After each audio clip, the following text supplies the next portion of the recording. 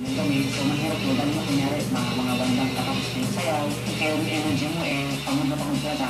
Kung sa mga mga babae, muscle, nakahils, nakakamilis kasi hindi ko na-expect na di ba nakahirap. Hindi ko siya, parang parang may ginagawa nila. eh. Pero pag sa sa nakahirap, kaya nakakaroon ng mga babae, mga sayaw, nakakataw, kami hindi. Ako to, yan sa Sebastian, challenge